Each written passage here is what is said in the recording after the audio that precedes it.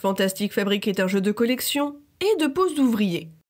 Le but est de gagner le plus de points en construisant et en activant des cartes. Dans Fantastic Fabric, nous devons bâtir le meilleur parc industriel, celui qui cumule le plus de marchandises et de prestige. Les ouvriers sont représentés par des dés. Chaque joueur commence avec son siège social et ses quatre employés. Un tour de Fantastic Fabric se divise en deux phases. Une phase de marché, puis une phase de travail.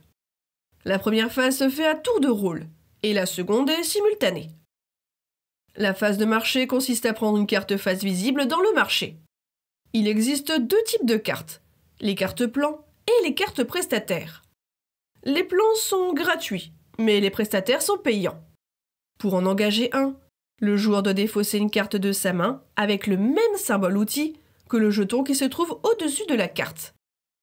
Les cartes bâtiments sont ajoutées à la main du joueur qui les achète, et les cartes prestataires sont résolues, puis défaussées.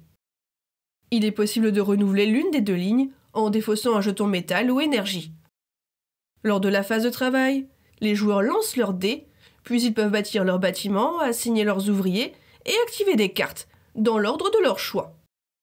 Le coût d'une carte est indiqué en haut, à gauche. Pour bâtir un bâtiment, le joueur doit défausser une carte de sa main avec le symbole outil correspondant et payer les ressources demandées.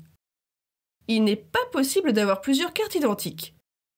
Les capacités des cartes sont indiquées en bas, et certaines demandent des ouvriers pour être activées. Le siège social permet de faire trois actions, et chaque action peut être réalisée trois fois. Petite particularité du siège social. Si un joueur place un ouvrier de même valeur qu'un ouvrier déjà présent sur une ligne, il gagne une carte ou une ressource supplémentaire suivant l'action. Une partie de Fantastic Fabric dure un nombre indéfini de tours et se termine lorsqu'un joueur cumule au moins 12 marchandises ou construise 10 bâtiments.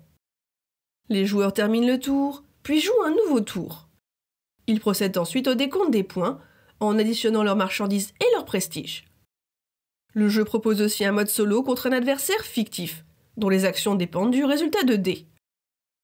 Pour conclure, Fantastic Fabric est un jeu de pose d'ouvriers et de combos simple et rapide.